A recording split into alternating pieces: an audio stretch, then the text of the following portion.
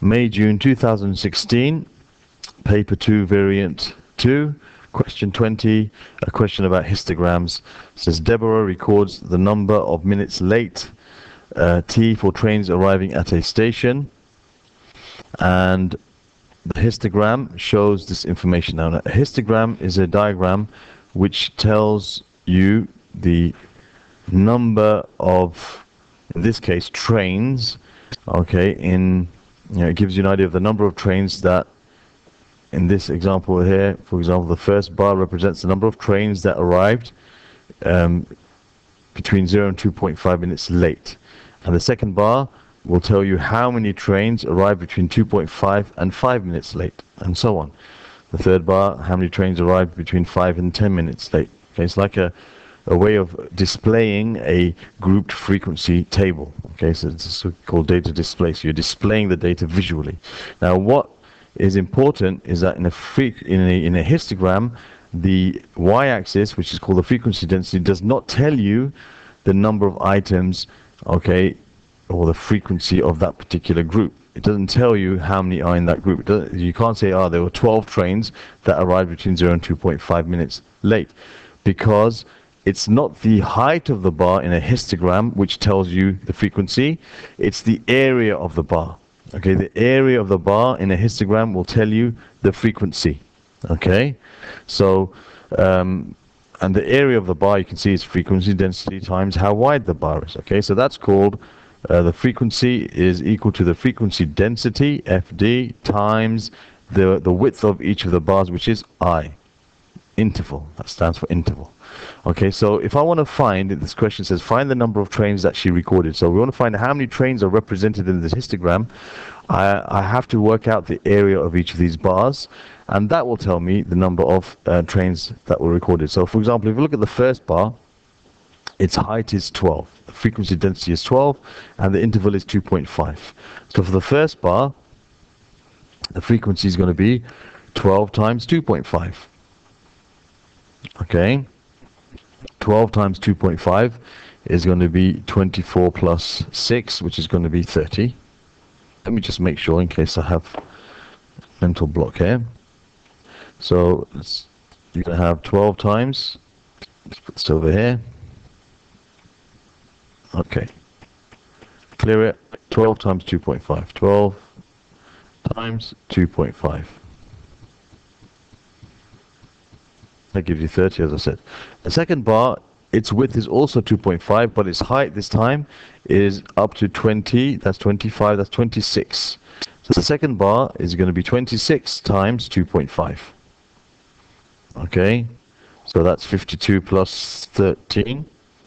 Okay, that's going to be 65. Let's just again make sure. So you're going to have, this time it's going to be 26 times 2.5. 26 times 2.5, which is 65. Okay, so there's 65 there.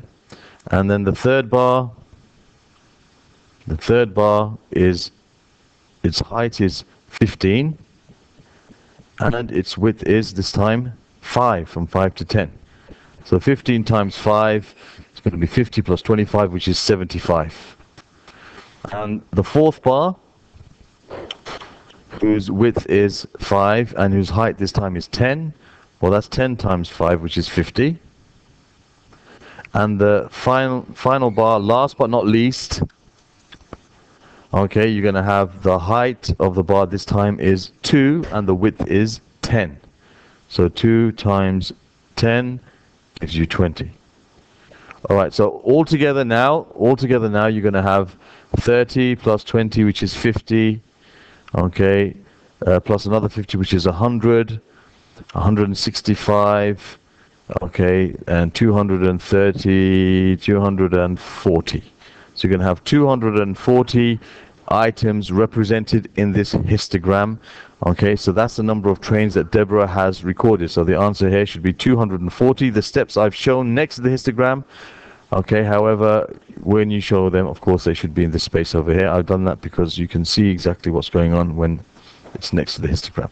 Now, part B says calculate the percentage of trains that recorded that arrived more than 10 minutes late. So we've got to take note of a few things that are important. So it says calculate the percentage, the percentage of the trains recorded. So it's a percentage we have to give um, that arrived more than 10 minutes late. Okay, so if we look at our histogram, okay, the bars before 10 are the train represent the numbers, okay, of trains that arrived less than 10 minutes late. Okay, the ones that arrived more than 10 minutes late are the ones after 10.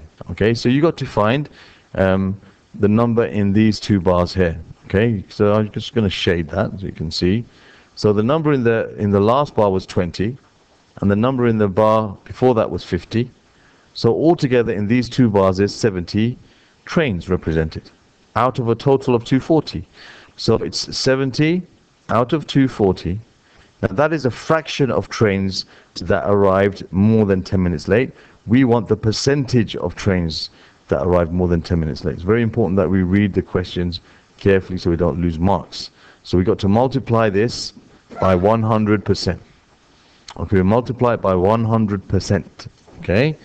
All right, it's good, important to write the percent there to show that you're converting into a percentage. Okay? So 70 over 240 multiplied by 100%, that will convert it into a percentage. So you have 7 over 24 times 100%, and the answer is going to be in percent.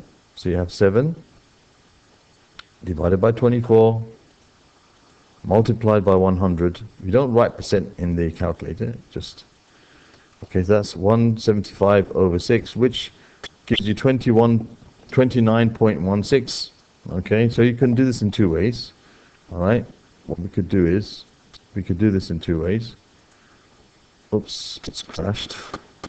Typical. One second. One second. It gave you 70, 20, one second. Sorry about that. Let me just. Technical glitch here. Okay. So let's get the calculator back. Sorry, so it's 7 over 24, 7 divided by 24 times 100%. So you just write times 100, you don't put the percent in there. You got 175 divided by 6. Now 175 divided by 6 will give you 29.6. Okay, uh, 29.16. So you can write it as 21, 29.2. Okay, 29 point, it gives you 29 0.16777 dot dot dot. You can write this as 29.2% because you've got to round to three significant figures. Okay, so that's how you should write your answer um, in this question, 29.2%. And there we have our answer for question number 20. As I said, be careful that you read the question carefully. It's asking for the percentage. So you have to uh, transfer, we have to convert our answer okay, uh, in, into a, we make a fraction of how many trains were more than 10 minutes late divided by the total number, and then you multiply that by 100%. Okay, the percentage of the trains after the word of comes the denominator that arrived more than 10 minutes late, that's the numerator, but that fraction must be converted into a percentage. Okay, that's very important. So there we have uh, that question done. Thank you very much.